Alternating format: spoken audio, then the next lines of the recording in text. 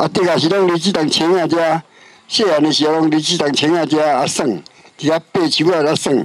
这位矿工嘴里的阿德就是总统赖清德，上任一百天兑现选前承诺，原本的万里老家变身矿工生活纪念馆。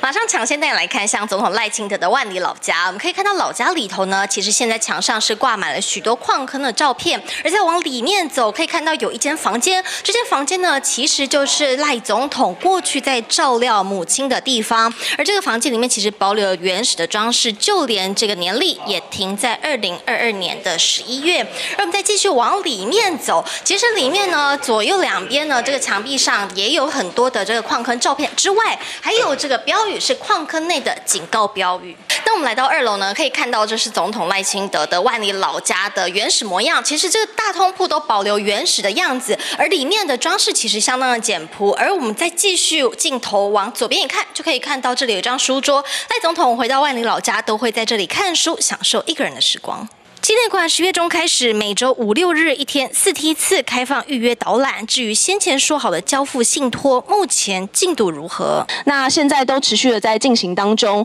那当然，因为过去在建价的过程当中遇到一些困难，但我们持续的在进行。就职一百天，总统也在脸书分享新来威，强调他与执政团队将秉持永不放弃精神，带领民主台湾继续立足世界。第一个一百天只是起点，期待携手走过未来很多个一百天。今天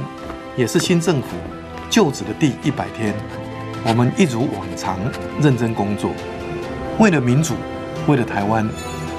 我们同样勇敢坚定。看看金新闻和美丽岛电子报民调，满意度分别来到百分之五十五点六和百分之五十四点四，信任度也过半。就看赖政府如何维持着数字，继续拼民众有感。TVB 新闻客人陈仁婷新北从报道。